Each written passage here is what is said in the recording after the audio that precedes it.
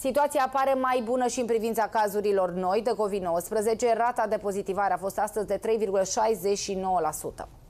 La mie, pardon. În acest moment, uh, doar capitala și alte trei județe sunt în scenariul galben. Discutăm despre toate acestea cu medicul Radu Țincu, este în direct prin telefon. Vă mulțumesc foarte mult pentru acest lucru. Bună ziua! Bună ziua, cu plăcere. Uh, domnule doctor, în primul rând vreau să discutăm despre acest maraton al vaccinării. Am văzut că autoritățile din București uh, se pregătesc cu surle și trâmbițe pentru aceste două zile de vaccinare non-stop. Înțeleg că cei care vor veni în aceste două locuri amenajate pentru imunizare vor avea parte și de programe artistice, uh, de, nu știu, întâlniri cu medici celebri. Sunt foarte multe persoane care vor să-i cunoască pe cei care au fost fost în linia întâi în toată această perioadă a pandemiei.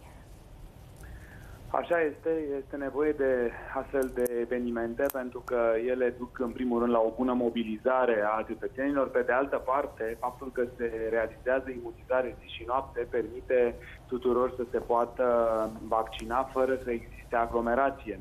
Trebuie să spunem faptul că cele două locații din București, Sala Palatului și Biblioteca Națională, vor avea program non-stop, de aceea trebuie să nu existe aglomerație și să fim pe oameni să nu se îngrămădească de la primele ore de deschidere, pentru că va exista suficient timp pe parcursul acestui weekend.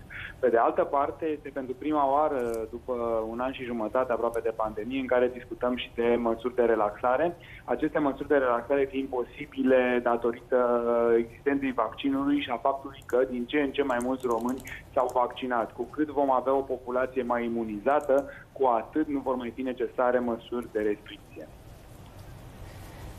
Uh, da, ne mai auzim, domnule doctor? Da, da. Da, vreau să vorbim puțin și uh, despre ceea ce se va întâmpla mai exact uh, în afară de procesul de imunizare propriu-zis. Înțeleg că oamenii vor avea acces la câteva spectacole, spuneam despre asta în, de, în debutul discuției noastre. Nu pot să vă dau mai multe informații despre programele artistice pentru că mm. nu le cunosc. Noi suntem parte integrantă a procesului de vaccinare. Sunt peste o mie de persoane voluntare din București.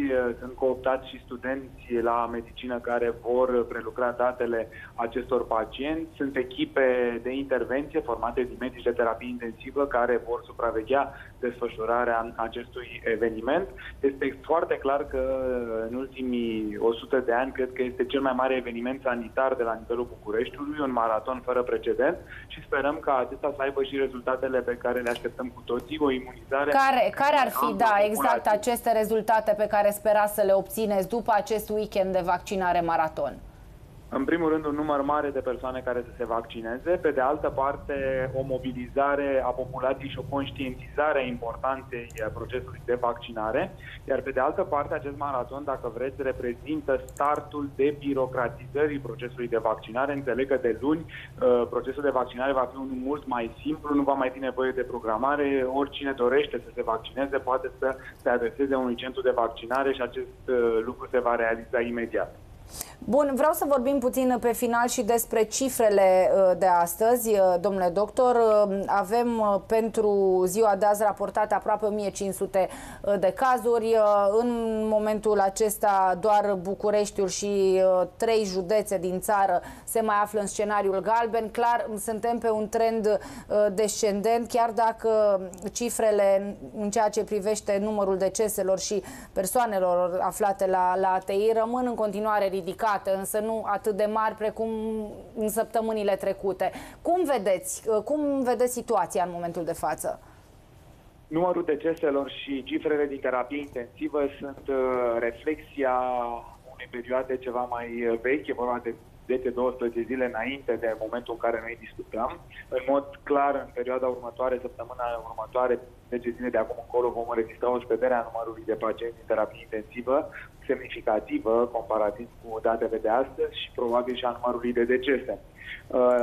Uh, scăderea numărului de îmbolnăviri este determinată de o combinație atât a măsurilor restrictive, asta pentru cei care încă mai aveau uh, nedumeriri cu privire la eficiența lor, este clar că acolo unde s-au impus măsuri de restricție, iată că s-a realizat controlul pandemiei, dar este o coroborare și cu procesul de vaccinare care devine din ce în ce mai amplu. Am depășit 100.000 de vaccinări pe zi și acest lucru creează pe premisele ca până la 1 iunie să putem atinge acea bornă de 5 milioane de imuniza- imunizări. Dar, dar, domnule doctor, această cifră de 100.000 de persoane vaccinate zilnic, credeți că se va menține pe platou ca să tot discutăm, ca, dacă tot discutăm în acești termeni?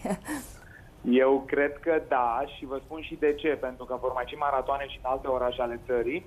Pe de altă parte, vă spuneam de acea debirocratizare a procesului de vaccinare, faptul că oricine se poate duce într-un centru de vaccinare și dacă există doze la acel moment se poate imuniza fără programare, reprezintă o accesibilizare extrem de ridicată a centrelor de vaccinare și să nu uităm că medicii de familie au fost cooptați în uh, programul de vaccinare. Există doze de vaccin Johnson Johnson care vor fi distribuite către aceștia și ei vor putea să imunizeze pacienții din listele personale.